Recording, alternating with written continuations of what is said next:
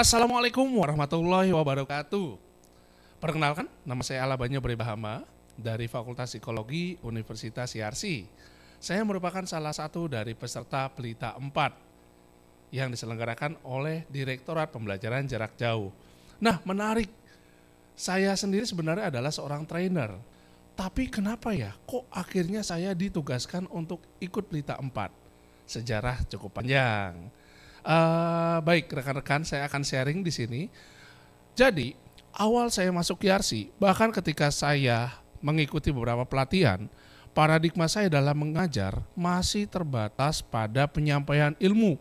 Nah, di sini ketika saya mengajar, saya memperlakukan mahasiswa tanpa sadar sebagai sosok yang pasif.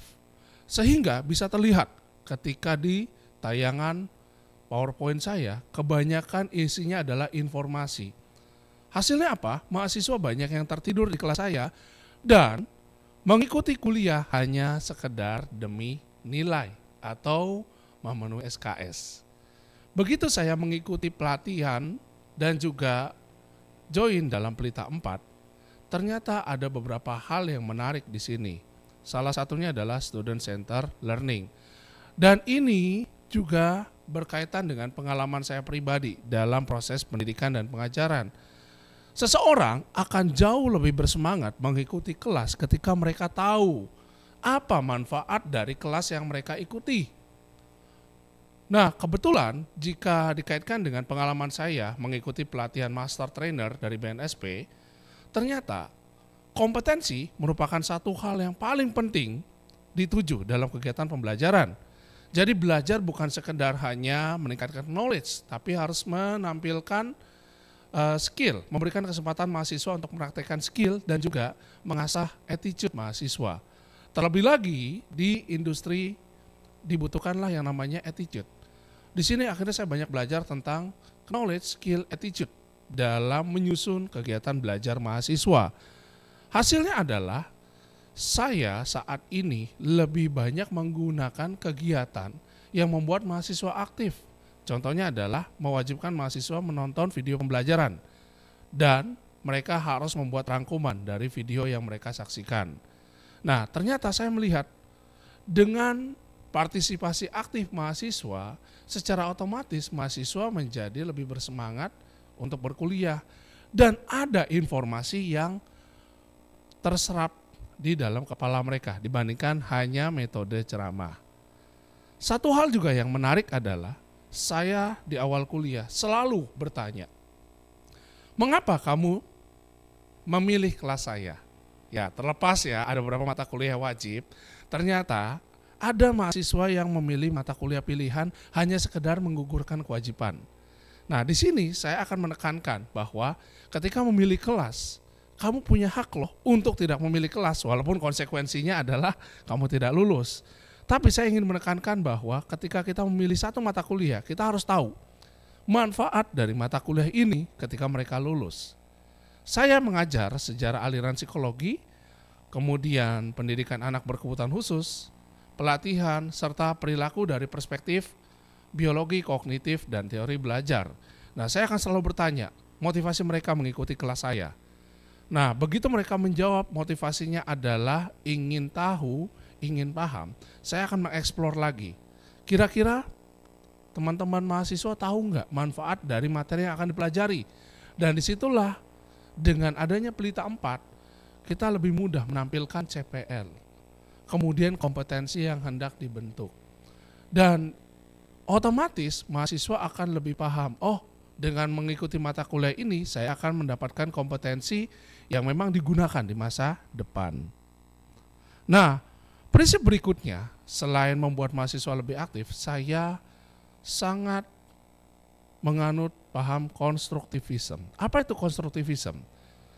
Orang harus aktif dalam membentuk pengetahuannya sendiri Tugas dosen menurut saya bukan lagi sekedar memberikan ceramah di depan kelas, tapi membuat mahasiswa bisa mengkonstruk pengetahuannya dan juga mengasah keterampilannya sendiri di luar kelas.